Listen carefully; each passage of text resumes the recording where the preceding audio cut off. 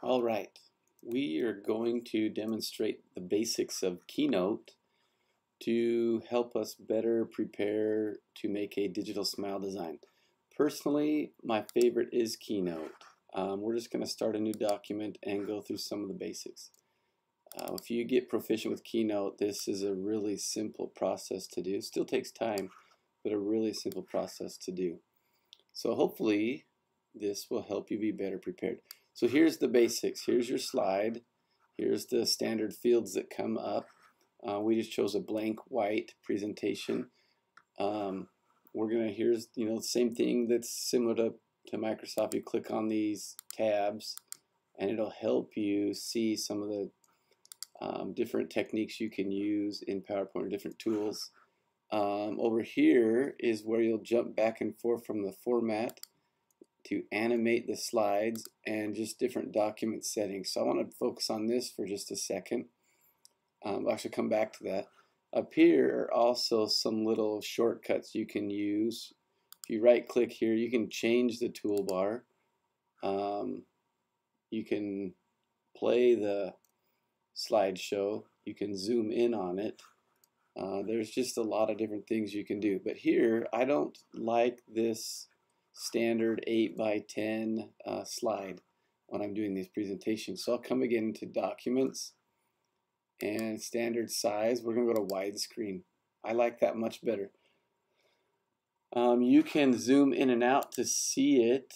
So there's 100%. There you go. You can see that size. Now if you had a trackpad or on your mouse, you can program your mouse. Oops, sorry that you can zoom in and out by using your fingers. Um, but in this case, I'm just going to use just the standard zoom. Um, you can get rid of this navigator, slides only. If you want more room, you can just do that. I like the navigator. It helps me jump through um, slides much easier. Um, right now, I really want to change the theme.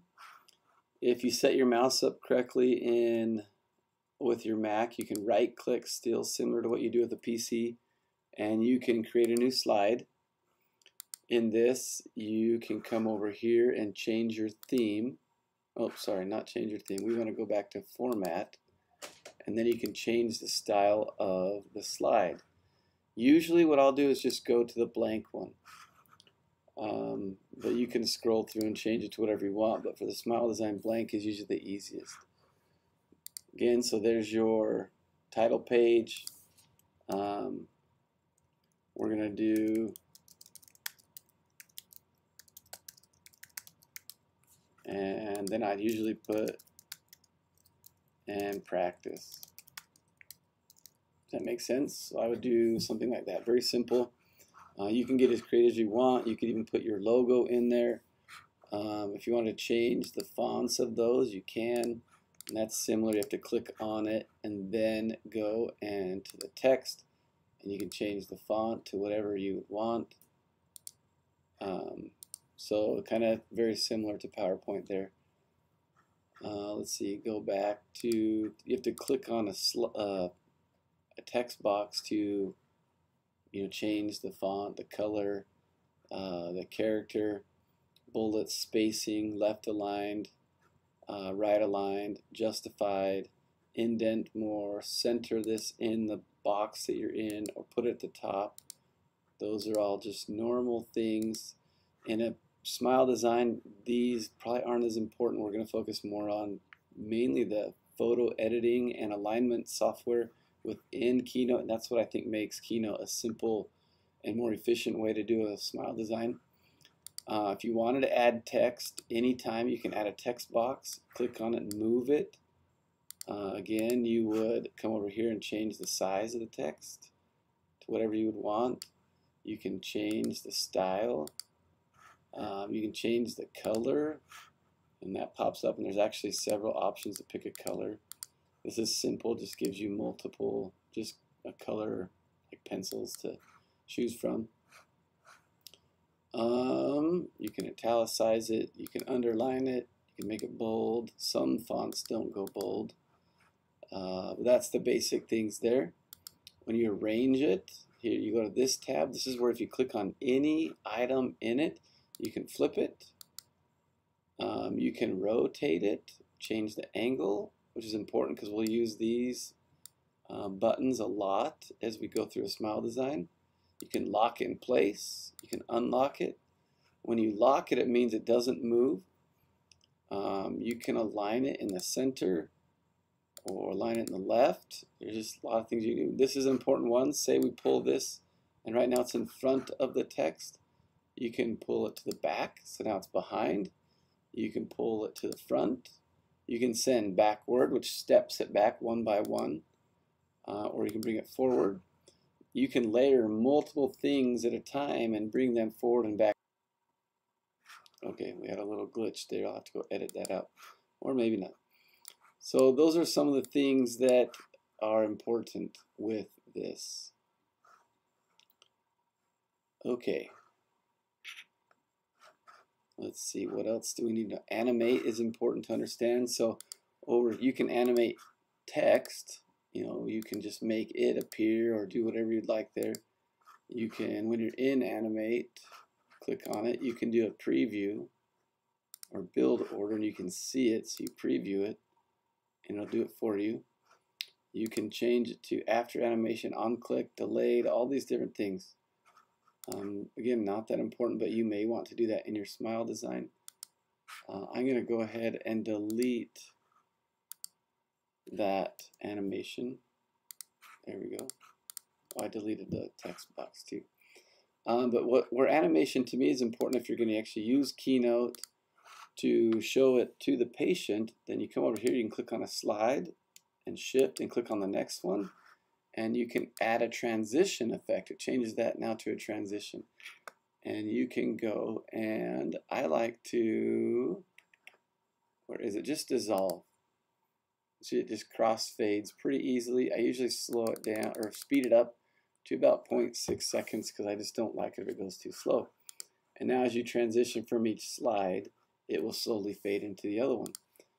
At this point, get rid of the corners there. I want to just copy this slide. So Command C, Command V, you can just make several slides. So now you copy the same formatting transitions between each slide. Those are the basics of Keynote. Oh, a couple other things. You can go up to File. If you wanted to save this as a PDF, you still can uh, by exporting to PDF when it comes up, it will allow you to choose good, better, and best quality. And then you'd go to next, and you can see you can actually change it in all these different types of formats. But PDF, you go to next, and you would pick the folder and change the title. And now you have a document that you can open up on any computer, whether you have Keynote, or you have a Mac or PC, which in our office is what we do most of the time. We turn it to change it to a PDF so that now we can open it on any computer. We don't. We're not a Mac based um, system for our operatories. We are a PC, but we do most of our presentations, editing, and flyers on a Mac. So that's why we like using Keynote. Uh, okay, a couple other things to know. You go up to say you're ready to start and you want to put a picture in. You go up to insert and you just choose. So then you go to the files. Oh, you know, I gotta open up that sample case here.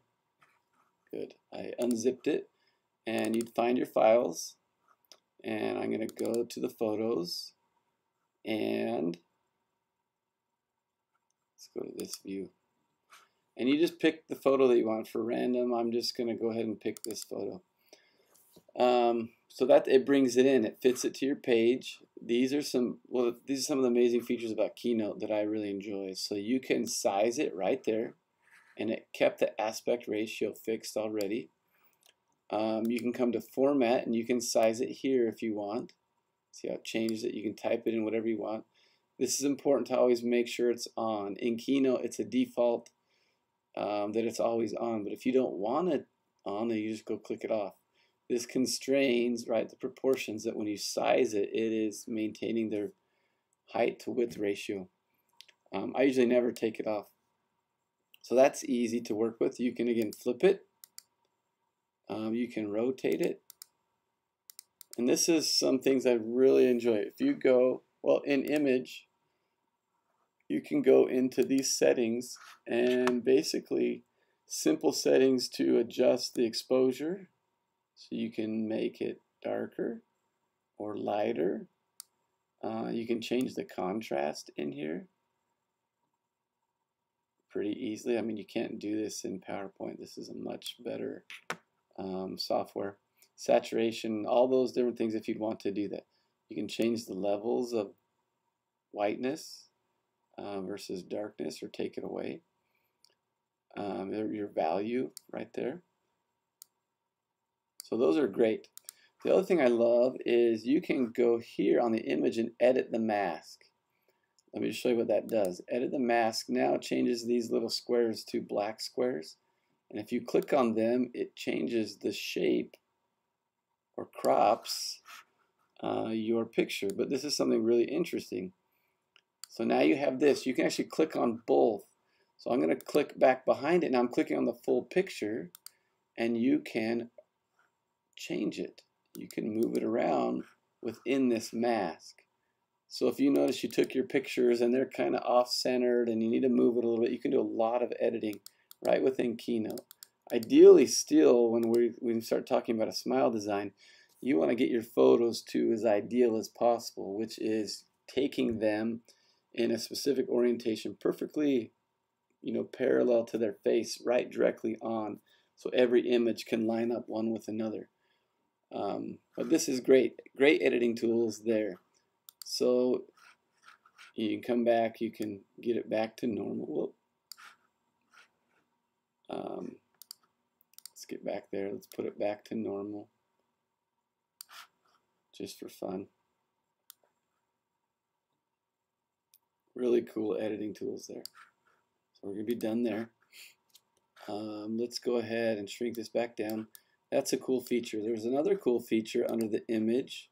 It's called Instant Alpha um, what you do is you pick on a color and you can left click on it and start dragging your mouse and see how it's changing the percentage. And you're basically photoshopping out a certain color. Works really well on something that's well defined like that where you had a you know black background and you can get rid of it. You see how that works? You can even go a little bit further maybe oh I took took away a tooth, so you don't want to do that over there so that's the basics, and it's kind of cool. Then you go done, and now you have a, a photoshopped image that is pretty cool.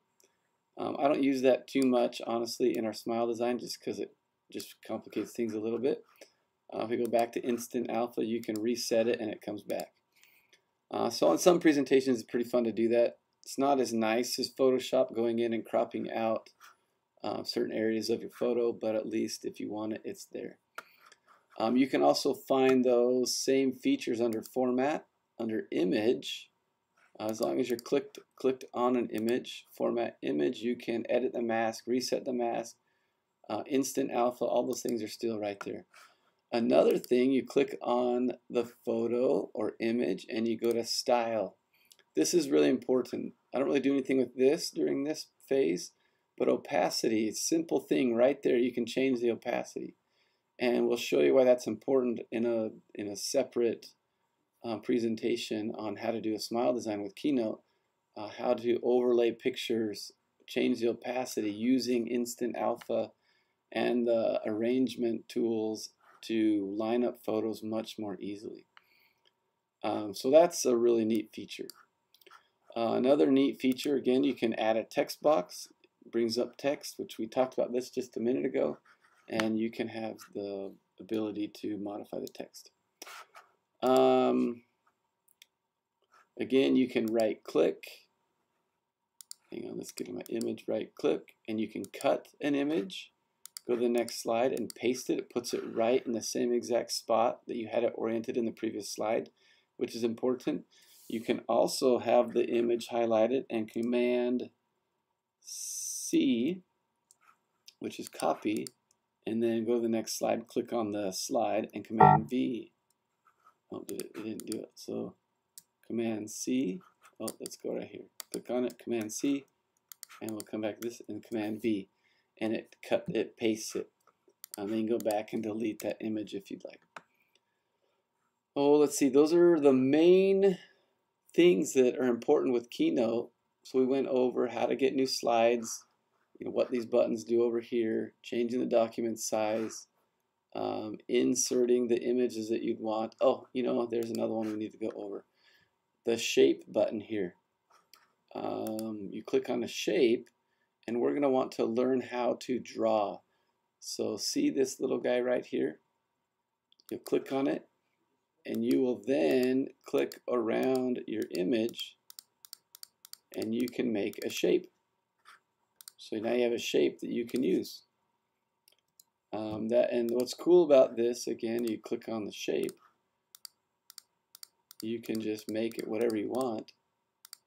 And once you click off of it, you can actually go back in and readjust the shape, which again you can't do in, in Keynote or PowerPoint.